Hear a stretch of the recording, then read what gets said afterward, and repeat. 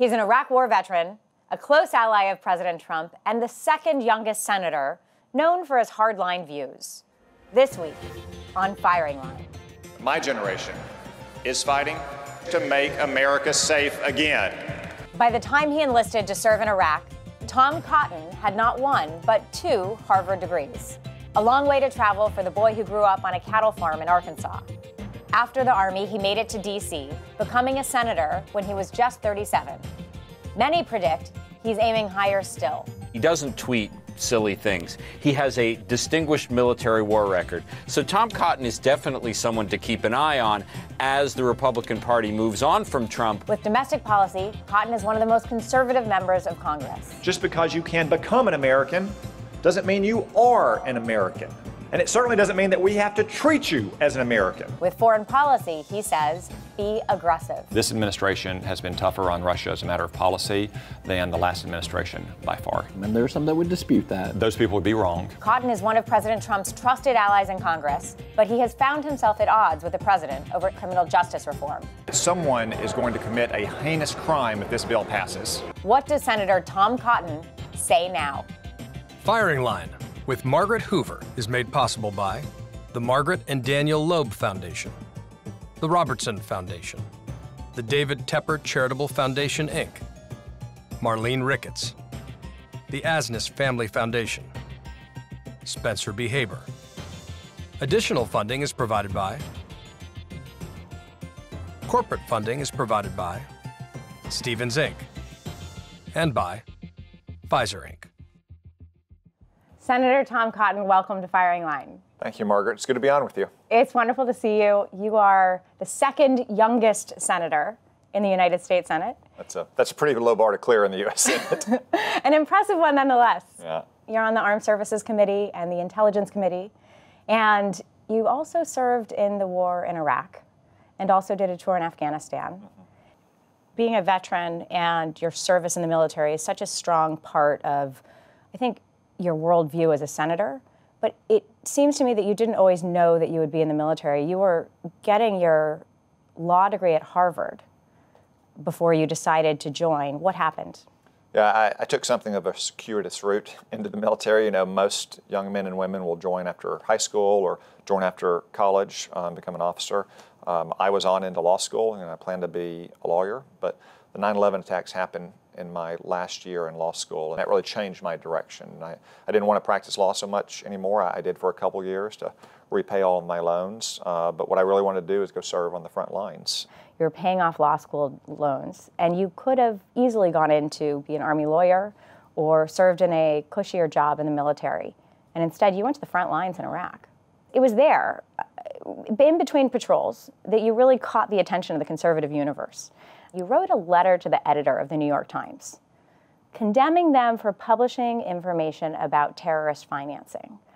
Can you recap what yeah, you did there? Yeah, well, our young soldiers on the front lines need to have good, time sensitive, accurate intelligence. And, unfortunately, the New York Times, like a lot of folks in the media, developed a bad habit over the last 20 years of disclosing that intelligence. So I did fire off a letter, maybe somewhat intemperate, uh, but I was uh, pretty frustrated at the time and uh, it did rocket around the internet. And uh, at first, the word came down from uh, higher headquarters that this was not a good thing. But uh, fortunately, the chief of staff of the Army at the time uh, sent it out to all Army generals and colonels email distribution list. So my battalion commander told me the next day that he was supposed to chew me out, but now he was supposed to punch me on the shoulder and tell me good job.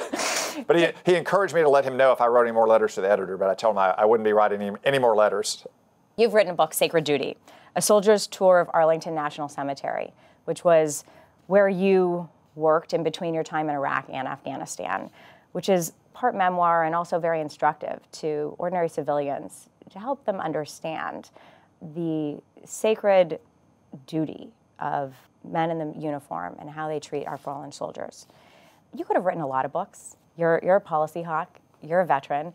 Why did you choose to write about the old guard so I wanted to share the story of the young soldiers at Arlington who put in all those long hours, who, who train and prepare their uniforms and go the extra mile to ensure that every funeral meets the standard of perfection. And you know, I talk about what it was like the first time I went to Dover Air Force Base to do the dignified transfer of remains of soldiers who had just been killed overseas, or, or what it was like to perform a very large funeral for a helicopter crew and passengers that had uh, been shot down in Iraq. But for the most part, the soldier's tour is what it's like to be a soldier in the old guard, coming to that famed regiment and performing those missions in Arlington because it's the behind the scenes look at everything that goes into what you might see at a loved one's funeral or what many of your viewers will see in the news next weekend over Memorial Day weekend. I think it's fair to say you've been known as one of the senators who works most closely with the White House. It was also reported that you were considered as a CIA director and uh, may yet have opportunities to serve in other capacities uh, in this administration. How do you describe your relationship with the White House right now? We have a very cordial relationship. We work closely on all areas of agreement. Um, you know, as, as, I would say of any president, I will support them when they're right. Um, I happen to think that President Trump is right more often than President Obama was, and I'll, I'll try to change their mind when I think they're wrong, um, and that has happened. Mm-hmm. Um, and if I can't, then I'll vote in what I think is the best interest of Arkansas and the best interest of our country. So now that the Mueller report has been delivered to the public, and you're on the Senate Intelligence Committee, is it easy for you on the Senate Intelligence Committee to accept the findings of the Mueller report and to accept not just the findings, but the basic premise that the Russians interfered in our elections in a blatant attempt to try to help President Trump to become the president? Well, there's no doubt that the Russians interfered in our election. Um, the Mueller report has established that, and the intelligence community uh, assessment a few years back has uh, established it. The Senate Intelligence Committee has established it as well. We have continued uh, reports coming out in the future about what Russia has been up to and what they might do, but this is not a surprise to anyone who's on the intelligence committee or who's worked in intelligence. This is just it's what also Russia not a surprise does. that they had a preference for Donald Trump to you, right? That the Mueller report concluded that isn't a surprise to you on the Senate Intelligence Committee, is it? So it's it's not a surprise that Russia interferes in our democratic processes. You don't think they had a preference it, for Donald Trump? I, I, think that's an open question yet really? to be established. Even though you don't think so that that was established in the Mueller report? If you look, but if you look objectively, not just at what people testified to. No, no, no reading jury, the report, it's pretty clear but, the Russians. But if you look at what was what objectively in 2016, the platforms on which the two candidates ran. Donald Trump favored a larger military, he favored nuclear modernization. Um, he wanted to get tougher with Russia on its periphery in places like Ukraine and, and in Syria. So, so there's, he wanted to produce more North American oil and gas. Objectively, none of those things are favorable towards the Kremlin position. Likewise, the Intelligence a, Committee, of course, concluded all those things too, and the Senate Intelligence Committee concluded those things too. It must be clear from your investigations; it's so clear in the in the redacted Mueller report that the Russians preferred Donald Trump to Hillary Clinton. Is that difficult for you? I think there's say? I think there is evidence on both sides of that, and I think it's a closer call. Where is the evidence Mueller, in the Mueller report that they wanted Hillary Clinton to be president? Well, the the Mueller report is not gospel on this question in particular. There is evidence on both sides of that question about whether they favored Donald Trump or they merely wanted to harm Hillary Clinton. And in our system, is there a difference? Well, so in our system, it's hard to disentangle if two. If it's a, you know, you have two choices for president. If you want to hurt Hillary Clinton, don't you want to help Donald Trump? Uh, so that's why it's hard to disentangle. There, there is evidence that they wanted to hurt Hillary Clinton in ways that did not necessarily help Donald Trump.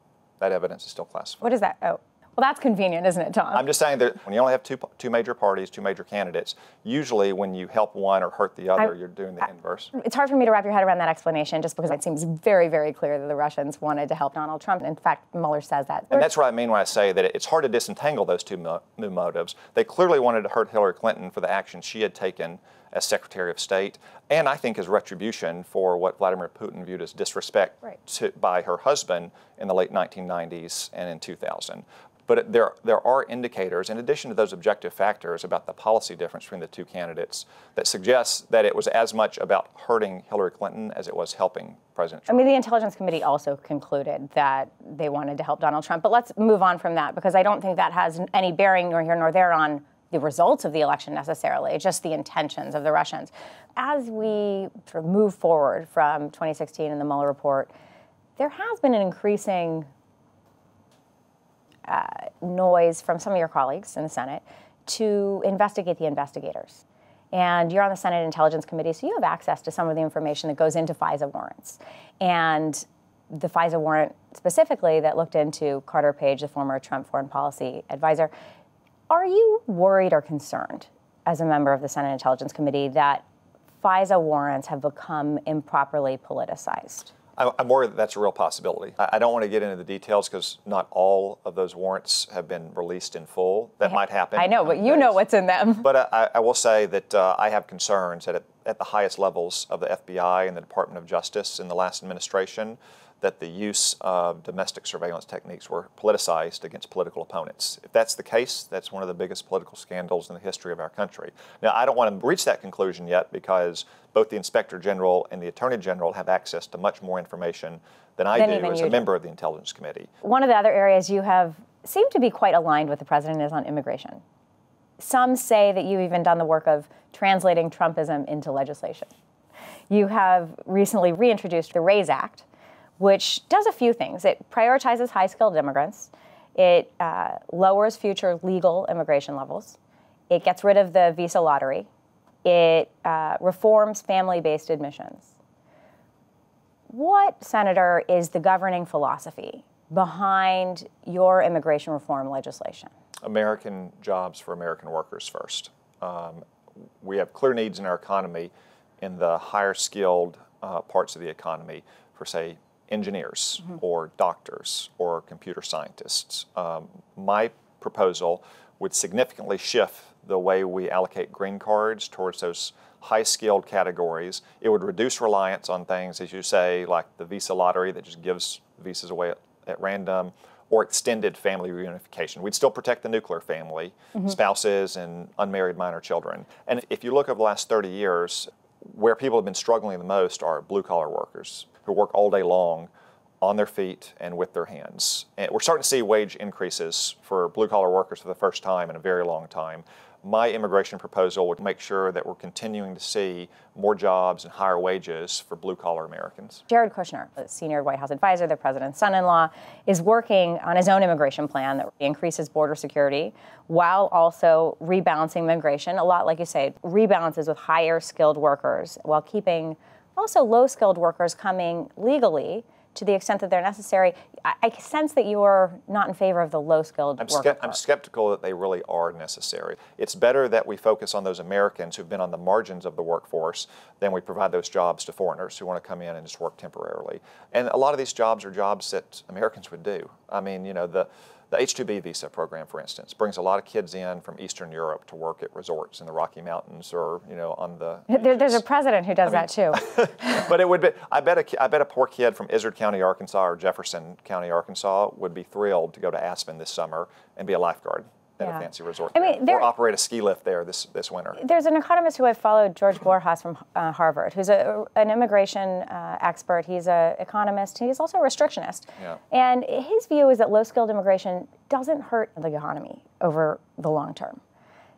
So that it, it's hard to square some of the data of restrictionist immigration positions uh, with a temporary worker visa program. But does it mean, uh, Senator, that you would be opposed to the proposal? Well, I've, I've met with Jared Kushner about his proposal. He's been meeting with a lot of Republican senators. I'll just say that, uh, that right now we've had very productive conversations, and, I- and I hope that we end up in a place that gets us the kind of high skilled workers we need while protecting American jobs and addressing the urgent crisis we face on the border. I, mean- think we're moving in that direction. you know, some people think that Tom Cotton's views generally will end up epitomizing Trumpism post Trump.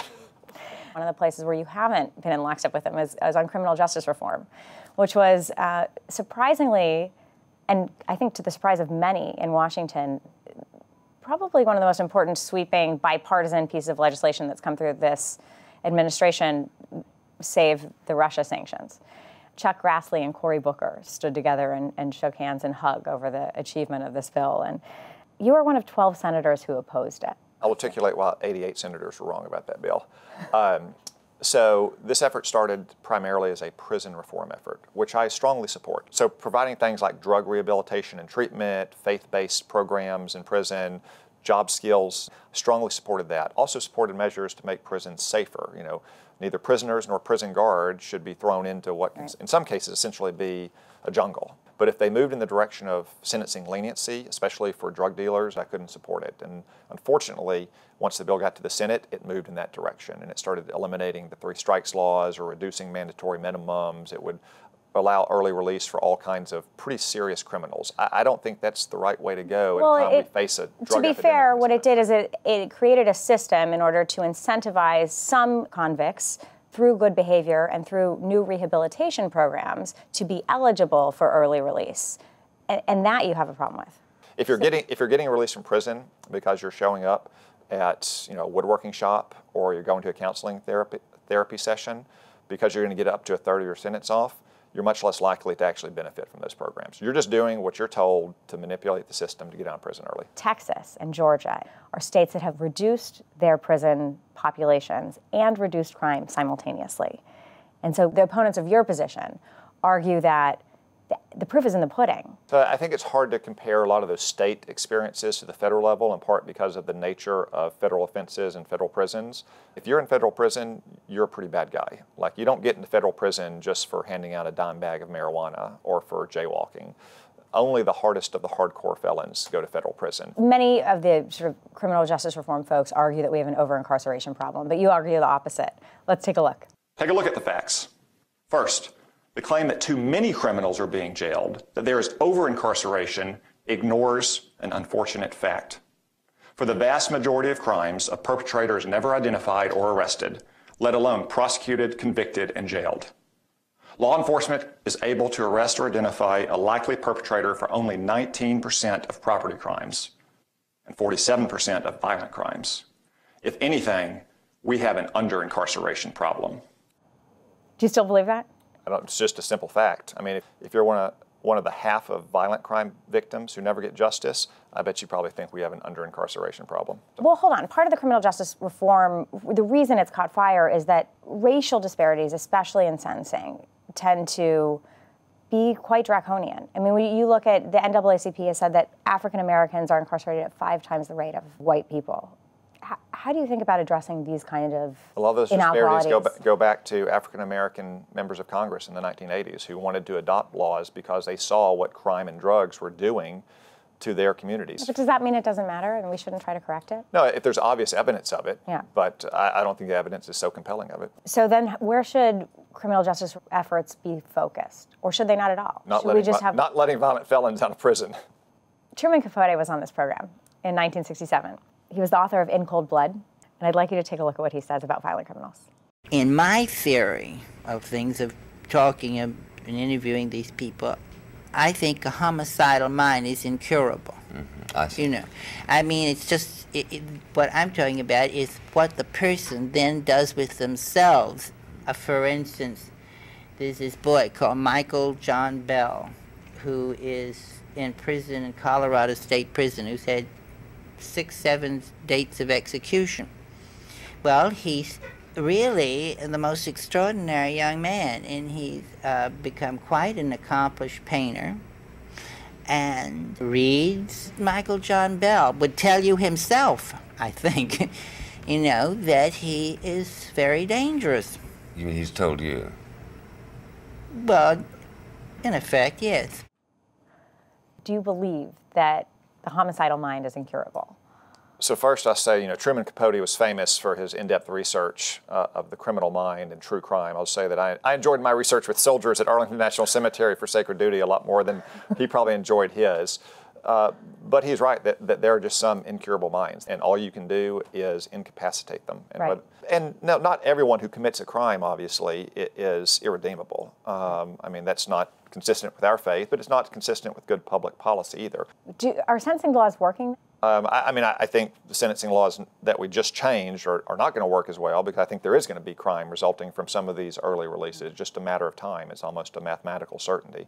Let's go to foreign policy. This is your sweet spot. And one of the first things you did once you were elected to be a U.S. Senator was organize a letter that 46 of your colleagues signed, and it was a letter to the Ayatollahs, warning them in the midst of uh, Barack Obama's negotiations on the Iran deal uh, that whatever deal they entered into with Barack Obama, because it wasn't a treaty and didn't have the strength of force of legislation in the United States Congress, could be undone by whoever Barack Obama's successor was.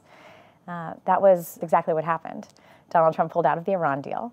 And I wonder how would you grade Donald Trump on his interactions with Iran to date?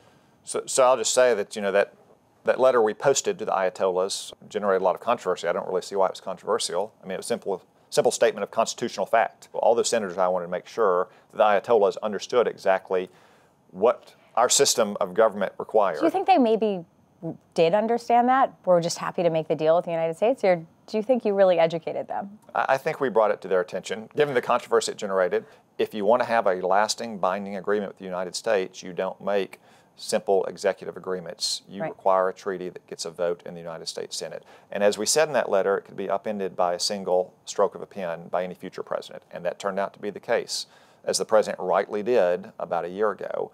And right now, I, I, think things are moving in the right direction Iran. Look, we just announced that we're going to go to zero oil exports for Iran, that is going to take their economy from where it is today at recession levels to, I suspect, to depression levels in the near future. So, your hope is that by instituting economic sanctions with Iran, even though the United States has pulled out of the Iran deal, that continued pressure from the United States will prevent Iran from continuing to try to develop a nuclear fissile material or nuclear warheads. Well, that's part of it, but it's not just the nuclear deal. I mean, part of the fundamental problem of the nuclear deal is it didn't address all of Iran's other outlaw behavior, like supporting terrorism against the United States and our allies, or arming rebel organizations throughout the Middle East, or its abuse of its own people. Mm-hmm.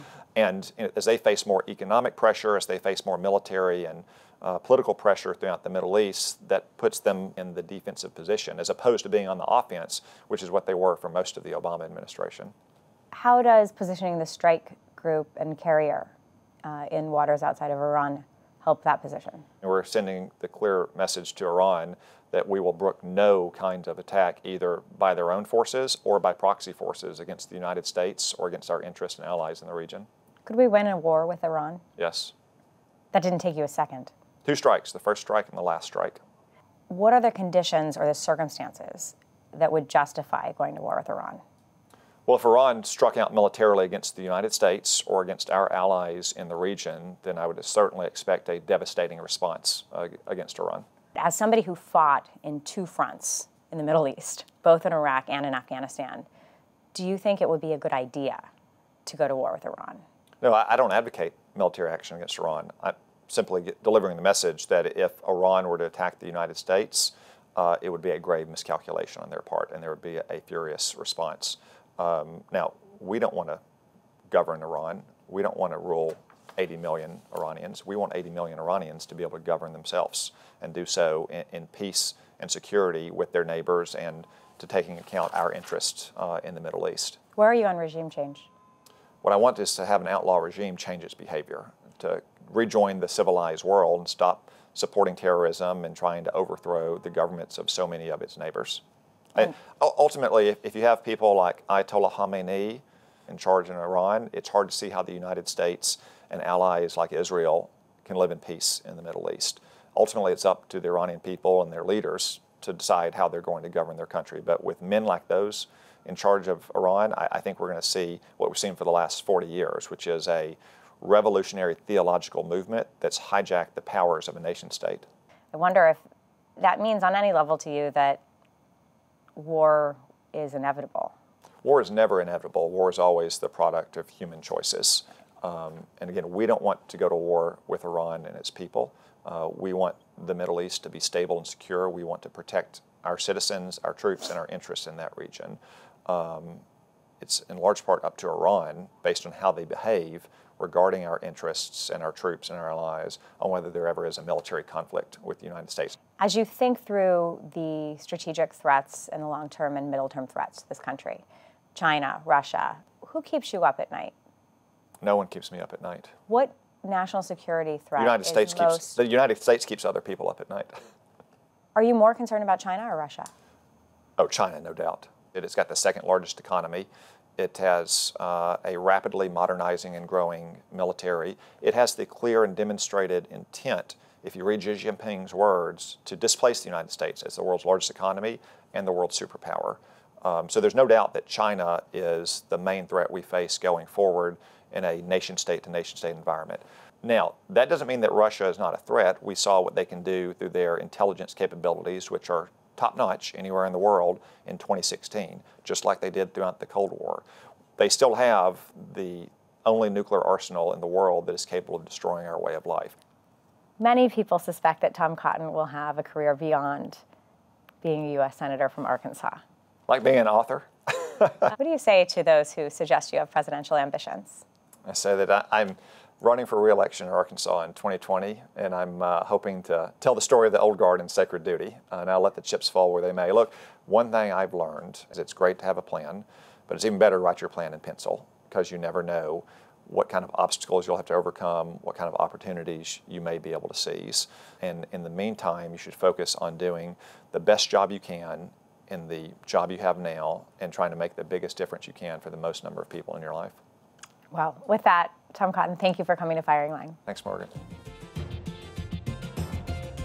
Firing Line with Margaret Hoover is made possible by the Margaret and Daniel Loeb Foundation, the Robertson Foundation, the David Tepper Charitable Foundation, Inc., Marlene Ricketts, the Asness Family Foundation, Spencer B. Haber.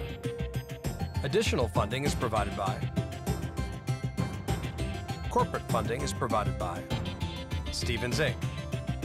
and by Pfizer